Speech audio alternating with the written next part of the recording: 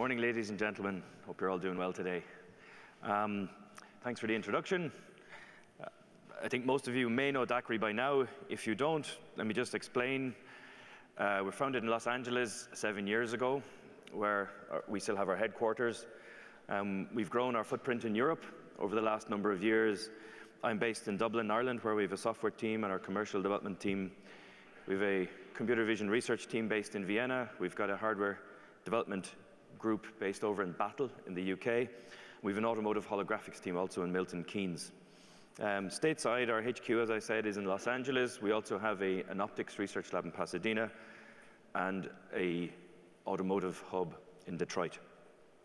Uh, we're about 275 employees spread across those countries, um, focused heavily in Europe and North America today.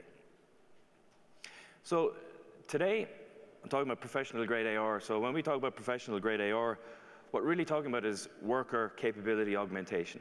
So it's not entertainment per se, even though you might be entertained doing your job. It's actually giving capabilities. The show here is all about superpowers. So it's about giving those superpowers to workers.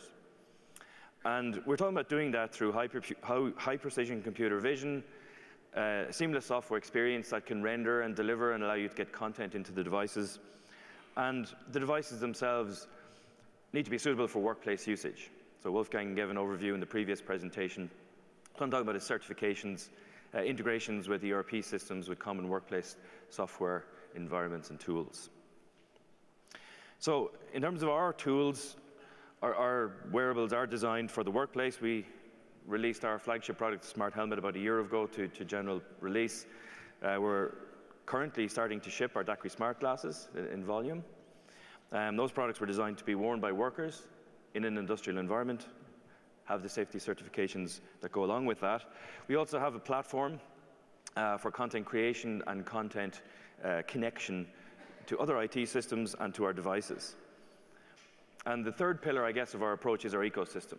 So we're working with a range of ISVs and system integrators, solution providers, who actually make solutions that are useful in the workplace. And today I'm going to talk about some of those solutions and talk about some of the partnerships towards the end.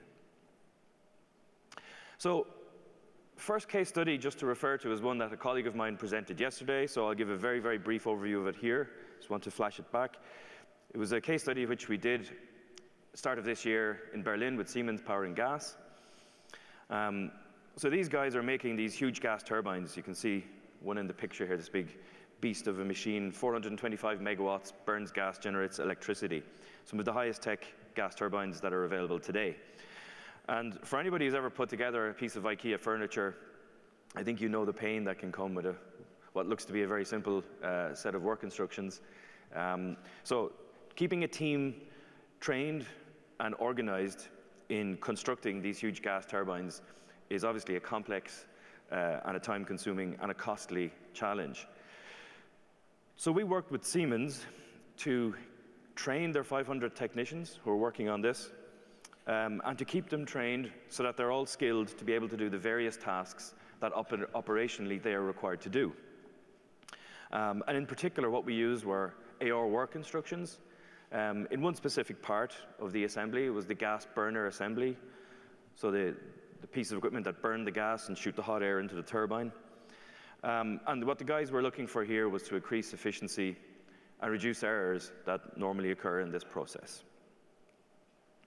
Um, the study went very well. I mean, the, the, drastic finding which we had, or the most dramatic finding rather, was the speed.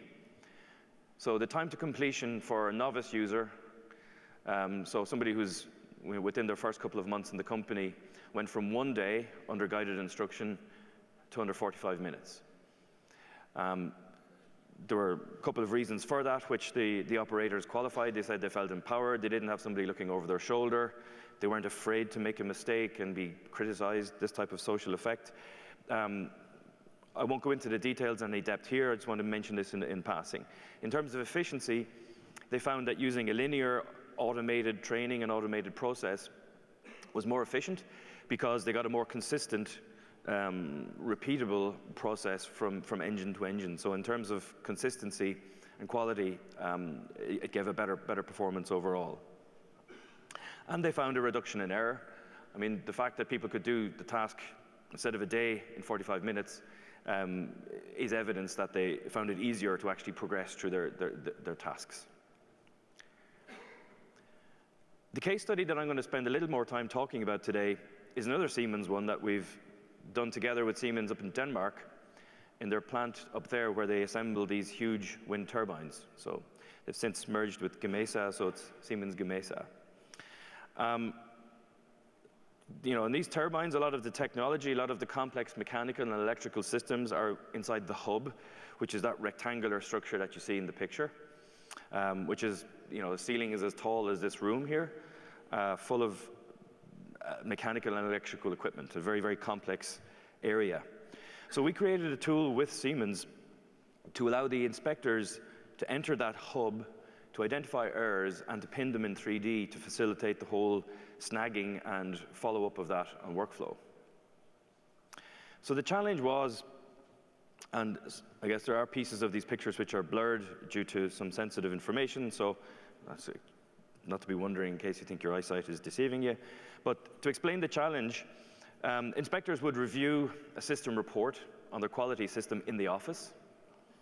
Um, they would read through the system report of what has been done on the asset, on the wind turbine. Um, they may print out some, some notes or some tasks, and they walk away from the computer in their office with some papers, with a digital camera, and walk several hundred meters to the wind turbine. Take a flashlight with them to, to get some clarity on some of the objects from time to time. So what the guys did inside the turbine is they did an external inspection of the, the outside surfaces, and then inside the hub, looked at the mechanical, the electrical, and identified errors pretty much from memory from what they'd read on the system report, but also reminded by their notes. Um, if they identified snags, so things which weren't as they should be, typically what they did is they took a digital photograph with the camera and pasted a piece of red sticky tape on the snag. They then remembered the snag, and when they went back to the office, they would create a report. So they opened up Microsoft Excel, created a document. Everybody loves writing big reports, right? And spent some time writing reports, imported digital pictures from the, from the camera, and then submitted that as the work report. There was a reinspection process which would happen in a following time. Obviously, people would be tasked to repair the snags, and then some of the inspectors would have to revisit and check that the snags had been completed satisfactorily or not. So the pain points with the existing process today was that there was a potential for inconsistency. Um, inconsistency in the sense that the operator was memorizing a task, was going then to the site, had some pieces of paper, some cameras in their hands, so there was a cognitive loading by having bits and pieces and photographs and sticky tape and different things. And then they memorized those errors and came back and wrote down a report. And you know, that process is prone to inconsistency. Um, there are some challenges with identifying and tracking snags. So when they were documenting the location of snags, the guys had a grid system. So it was like A, B, C, D, one, two, three, like a, a grid reference that you might see on a map. Um, and there were some problems with that because it can be subjective. So for me, I might go from A to C, somebody else might divide it into five zones, etc. So it was a little bit subjective, and it was very, very hard if a shift ended during an inspection for one inspector to describe to the next person where they had finished and where the next person must start. So that had led to inconsistencies also. So there were the problems which we tried to address working with them. Um, we developed an AR app which facilitated inspections. So the key features was that it guided the inspector through a process. So there were a number of items which needed to be inspected were presented as a, as a virtual menu through the AR interface. The inspector could progress through them in a linear fashion or could pick and choose in any fashion as long as they completed the various tasks. Once the inspector identified an, a snag, they would place a 3D marker. And this, I guess, is where the, the AR added a lot of value. So we allowed the, the inspector to place snags in 3D space, which the device could articulate to anybody else. So you put on the same device or a different device, walk into that asset, and you will see the snags placed as 3D pins. Um, we also implemented some features that allowed the categorization of those snags. So through a, a voice-to-text interface, um, within typically three to four seconds, the inspector could have actually categorized the entire snag and described what the type of action required was. Um, and the beauty of all of that, that it was, it was generating the document back on the server as the inspector was going through this process. So that by the time they went back to the office, the report is already written. Um, the hands-free interface on the device prompted the user to take a photograph occasionally where that was relevant. Um, so the report was there with serial numbers, photographs, and a detailed report based on what all the actions were taken and snags identified. Uh, this workflow obviously gave hands-free, so the user, the inspector didn't need to carry a camera, didn't need to carry bits and pieces of paper, didn't need to carry sticky tape and, and, and physically interact with the hub. Um, the report was generated, as I said, which saved a lot of time, facilitated handovers and facilitated re-inspections because it removed that subjective description of where snags were located in 3D space. The time savings were pretty significant. So overall, from end to end, the process was 40% faster. Um, in the documentation part, there was over 700% savings because the inspector just needed to download the report and review it rather than create the report post-inspection. Um, what they found was the inspection was higher quality because it was more consistent. People were following more rigorously through the instructions, but also tracking rigorously where the snags were. And in terms of operational efficiency, it became easier to schedule because handovers could happen and re-inspections were possible without more detailed briefing between operators. I guess one final thing that I didn't mention, I'll maybe just zip back to it, but we also measured technology acceptance with the users. So we worked closely with the inspectors who were actually doing the work in partnership to develop the app. And their net promoter scores were very high, and a lot of the metrics which we designed in the trial came very, very positive that it was beyond technology acceptance into technology adoption, which is obviously a key challenge in AR today.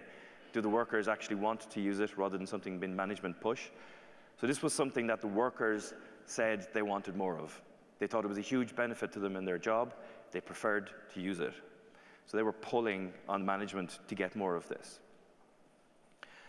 So in terms of partnerships and alliances, you know, our, our focus to scale out these solutions and bring them elsewhere um, is very much a partnership and alliances approach, right? We're not going to do all of this ourselves. Of course, we know that. Um, you know, we're working with Siemens, Autodesk, IBM. We've some recent announcements with Siemens in terms of asset tracking integrations with Maximo um, and Watson, so that we, we're working with a, an initial cohort of 15 customers um, to integrate IBM solutions and to, to bring different workflows and use cases to some enterprise customers through that partnership. Autodesk, we've shown a number of times some integrations with BIM 360, superimposition of 3D scans and models of assets for construction and other use cases. You know, for us, getting data and content in a seamless way into our devices is implicit in actually bringing further solutions and scaling them out to the market. We're working also with other groups in Siemens, so it's XHQ and Teamcenter, so for PLM tools and for access to data within factories. Um, so our strategy is to bring these tool sets as connectors to, to system integrators, to partners, um, to work together to get more and more powerful enterprise solutions, professional grade AR solutions to our customers. I showed three pictures on the bottom from some of our European partners, so SHM in Norway, Etanix in the Netherlands and Realmore in Italy, where we've had relatively recent case studies in a variety of different applications. The Realmore was at Aprilia Racing in Italy for pit operations on their, their MotoGP motorcycles. Etanix was a BIM use case, and the SHM use case is connectivity for aquaculture. Um, there are many more examples. I highlight these. There are some of the more visible ones. Um, you know, for us, the key partnerships are the ones which will help to get more useful enterprise solutions in customers' hands. Um, we have partnerships with Dell, who we are partnering with to, uh, to bring desk-based AR and, and further versions of mobile-based AR with. Um, Flex, our contract manufacturing partner, we're working it as well in terms of uh, manufacture of our devices, but also some collaborations. Um, you know, Obviously, we're here, we're part of the ecosystem of the augmented world So we're here to, uh, to partner with people and to, to, to bring solutions to, to customers. So thank you.